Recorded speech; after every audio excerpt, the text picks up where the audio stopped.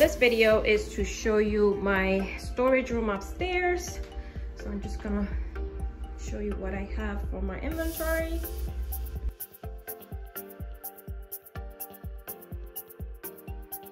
So this is where I keep my fabric and I am getting new fabric. Should be here hopefully next week. So that's why I made space for the new ones. So this is how I package them. So these are cut by the yard. So that's how I save them. And these are cotton and also um, flannel. And then um, this hallway here used to be my craft room, part of my craft room upstairs. So now is my inventory for my websites. So this is where I keep my cubbies, all my cubbies that I have in stock, book bags. Um, these are my vinyls that I have and all my towels, all my sweaters that I personalize, shirts, sublimation shirts, Bella canvas um, shirts, and um, I also have some shirts over there, some kitchen stuff, some hats. So this is where I keep my inventory and it's easier for me to actually order something. So if I only have two of those left, then I will go ahead and order more. So this helps me um, also keep track of the inventory. So if you're running low on something, it's easier for you to see than having boxes because I used to have everything boxed up in the closet. So it's kind of hard for me to keep track. So that was my old craft room in that small little room before, but it's actually a guest room. So, um, so I'm using just this hallway to keep my inventory so I can see everything I have and I don't have to go through all the boxes. So if I'm running low on something, I could just look up and say, okay, I only have two of those, so let me order two more just to restock it. So it's just easier for me to keep all my stuff visible so you know when to order things. So this is what it looks like just to give you an idea. And those are from Walmart, those cubbies and Better Homes.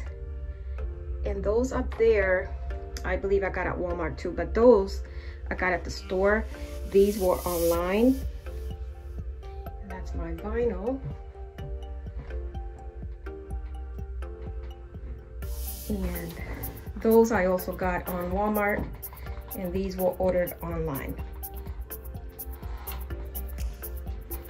So that's what it looks like. So it's a pretty big space for my stuff and I'm happy with it. So I just wanted to give you an idea what I have and how I stored everything. So I wanted to also show you that you can actually fit a 15 by 15 um, cubby, cubby cubes. And I did have some here. I had six of them, but I moved them downstairs. So I keep my other supplies in there that you don't want to see out all the time so you can hide those. But this supply room, you want to see what you have because you have you have to keep an eye on it of what you're running low or if you need it. So this is why I like to keep these open. But um, yeah, these are my mesh laundry bags that I already embroidered um, wifey, hubby, and I also sell the um, cubby stuffed animals that I personalize. So I made also laundry bags um, for those. So I have those in my Etsy shop as well. But I wanted to give you a close-up look of the stuff that you can actually fit. I have towels in there, all, all my stuff that um, I already made, ready to go. All you have to do is personalize it or add a name to it. All I do is grab it and um, get it ready and ship them out. And these are my quilted blankets that I have. This is all I have left. So I'm running low, so I'm gonna order some more. And these are all my sweatshirts um, that I sell as well. I actually had a local order and it was a big order, so that's why I decided to get these and have them in hand. Just never know when you get another order, but I wanted to show you um, how I organized it. And these, I believe, are shoe boxes, and you can get these at Walmart. I had these for a very long time. I don't even remember what I had. when I got them, but this is good for your vinyl. So you can see also what you have. So I mean, you have pretty good space in there to store and you can put these anywhere in your room. So I stacked them up. So I had those two here on the bottom, but I didn't like um, how they looked there and it was it was actually in the way. So I actually had those two cubbies here, the shoe, um, shoe racks. But Since my bedroom is here, you don't want to block that anyway, so I put them up there and they actually look better up there for some reason. I like the way it looks now. So I don't have little kids that they're gonna be climbing up there, so I'm not worried about tying up the um, backs of the uh, cubbies. I don't have little children.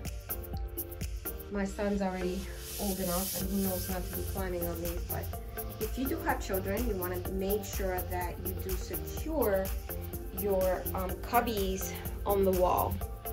I used to do that before when I was running a daycare in my house. Of course, you have to make sure everything's strapped in and safe for the kids.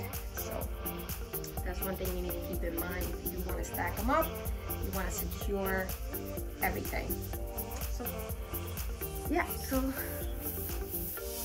so thanks for watching guys. I just want to give you an idea of how I keep all my supplies from my website and my Etsy shop and I figured I'd give you some motivation to get your craft room um, organized and maybe you can pick up ideas from me, someone else and put them together and it will work for you.